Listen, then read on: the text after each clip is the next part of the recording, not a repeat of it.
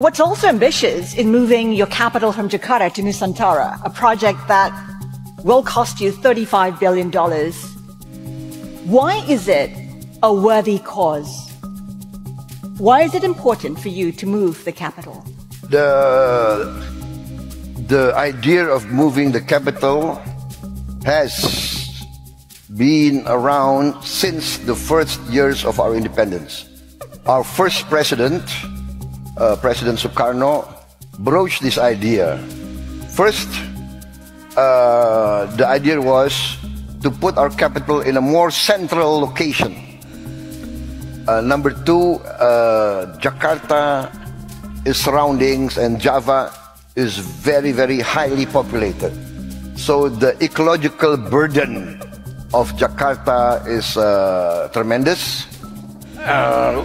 We are facing a rise in the ocean. It's around between 5 to 10 centimeters a year.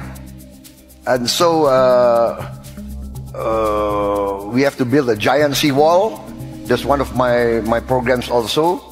But uh, moving the capital is one way to uh, to bring growth outside Jakarta, outside Java, and also in the next few years, before the giant seawall uh, can be uh, completed, which will take maybe 10, 15 years, our capital is safe from inundation. Is funding an issue?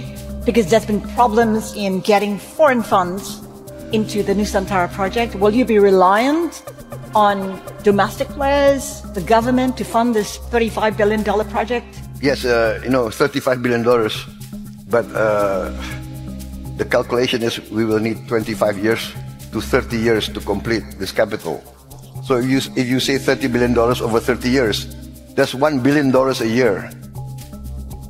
Indonesia's economy, Indonesia's budget can carry that. So we are, uh, we are very confident. I mean, I, I believe you know, Capital City is a political project, and uh, the main drivers must be the domestic resources, and then the foreign, the foreign investment will come in later. Perlawanan Prabowo telah dimulai. Hentikan anggaran IKN. Sinyalemen ke sana sangat-sangat kuat. Bahkan, sahabat Ejet, kalau melihat di sini, ini lebih ngeri lagi nih judulnya. Prabowo hentikan anggaran IKN. Bukti beban APBN kian berat. Kan kita tahu, makan bergizi gratis saja dari 15.000 sudah dipangkas jadi 10.000. Kenapa? Ya APBN. Program-program kami termasuk makan bergizi untuk anak-anak dan ibu hamil juga kalau dihitung merupakan suatu uh, tambahan kesejahteraan karena buruh tentunya uh, punya keluarga dan punya anak. Kalau kita rinci program bergizi ini uh, nanti rata-rata minimumnya atau rata-ratanya kita ingin memberi indeks per anak per ibu hamil itu 10 ribu rupiah per hari kurang lebih kita ingin 15 ribu tapi kondisi anggaran mungkin 10 ribu kita hitung untuk daerah-daerah itu cukup cukup uh, bermutu dan bergizi. Ya kemarin dapat bantuan, tapi kan bantuan itu bantuan hibah apa hutang? Kalau hutang ya makin berat kita. Indonesia dan Cina menyepakati proyek pendanaan makan bergizi gratis di Indonesia. Kesepakatan itu merupakan salah satu hasil dari kunjungan Presiden Prabowo Subianto ke Cina baru-baru ini. Sejak awal, program makan siang gratis ini menuai polemik. Selain menjadi poin yang paling diingat warga saat Prabowo berkampanye, program ini juga dinilai menyedot anggaran yang sangat besar. Lalu bagaimana proyeksi kondisi ekonomi Indonesia ke depannya dengan investasi baru dari Cina? Apakah akan menambah utang negara atau pendanaan ini diberi secara cuma-cuma?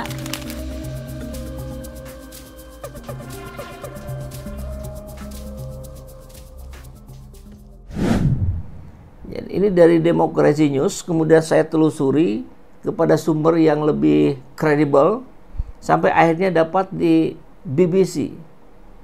Nih, coba kita kupas satu per satu. Ini dari demokrasi dulu nih. Kita lihat. Oh, ini sebentar. Prabowo hentikan anggaran IKN. Presiden Prabowo Subianto telah memutuskan untuk menghentikan sementara alokasi anggaran pembangunan infrastruktur ibu kota Nusantara. Nah, ini nanti kita cek validasi ya, kita validasi di BBC. Keputusan ini diungkapkan oleh Menteri Pekerjaan Umum Dodi Hanggono yang menyebut Prabowo telah menginstruksikan Menteri Keuangan Sri Mulyani untuk menunda pendanaan proyek tersebut. Langkah ini diambil untuk mengalihkan anggaran ini ke sektor yang lebih prioritas seperti ketahanan pangan, air, dan energi. Ya memang ini yang lebih masuk akal. Jadi kita lihat dulu, ini kapan nih munculnya nih tanggalnya nih.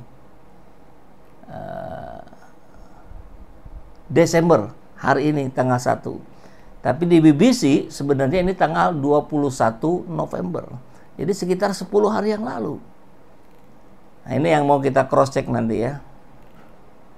Keputusan ini menarik perhatian publik, termasuk Rocky Gerung yang melihatnya sebagai indikasi adanya tekanan dalam APBN. Gitu ya.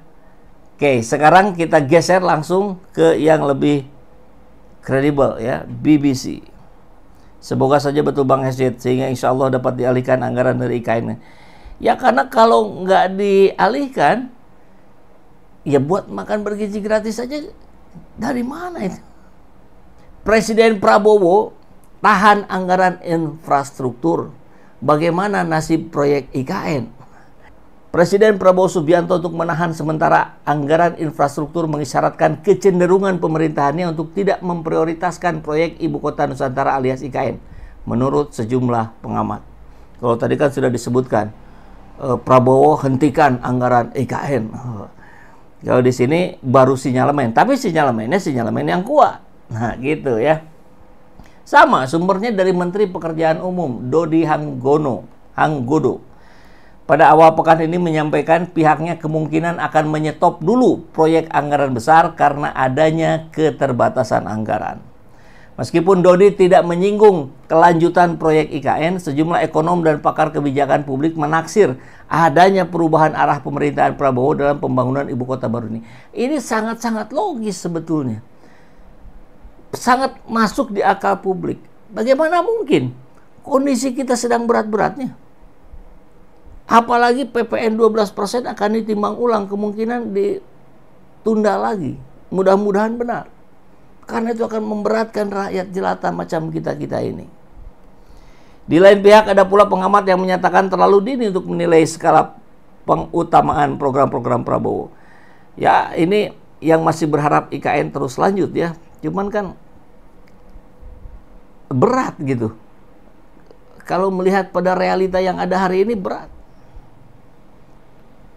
Pengamat yang sama menyebut konsolidasi anggaran ini diperlukan mengingat jumlah kementerian pada pemerintahan saat ini lebih banyak dibandingkan sebelumnya. Apalagi beban biaya lebih banyak. Adapun pihak otorita IKN ketika diminta tanggapan menyatakan optimis pembangunan ibu kota ini akan berlanjut dengan baik di bawah pemerintahan sekarang. Ya berlanjut lah dengan baik minimal tetap digaji lah Pak Basuki kan gitu ya. Tapi kasihan rakyat yang di sana yang sudah siap-siap berharap akan ada banyak orang kemudian mulai bikin kontrakan, misalnya mulai bikin rumah makan, kecelai juga kan. Meskipun secara umum tentu kita sepakat kita bersyukur berucap syukur kepada Pak pada Allah ya kalau bersyukur. Karena eh, Prabowo sudah mulai melihat apa kepentingan prioritas. Wow, tahu dari mana kamu? Ya kan kita baca indikasi-indikasi. Mengapa dana infrastruktur untuk sementara ditahan? Kata Dodi Hanggodo, Menteri PU yang menggantikan Basuki, menyebut pihaknya akan memaksimalkan pemanfaatan infrastruktur yang telah ada untuk mendukung ketahanan pangan, energi, dan air. Dalam beberapa kesempatan saya sampaikan pembangunan fisik yang besar, nah ini kata kuncinya nih, seperti pembangunan bendungan dan sebagainya untuk sementara mungkin kita hentikan dulu untuk sementara waktu. Sampai kapan? Sampai APBN kita membaik. Kapan APBN kita membaik? Mungkin lima tahun ke depan. gitu ya. Nah, menurut Dodi tidak ini lepas tidak lepas dari keterbatasan anggaran. Semua dana infrastruktur sementara ditahan dulu oleh Ibu Menteri Keuangan Sri Mulyani tentu sesuai dengan arahan Pak Prabowo. Nah, ini kuncinya. Jadi sehingga dari sinilah kita bisa membaca judul ini ya. Prabowo hentikan anggaran IKN. Ya karena sudah cukup menggambarkan di sini jelas ditahan dulu sama Sri Mulyani atas arahan Pak Prabowo.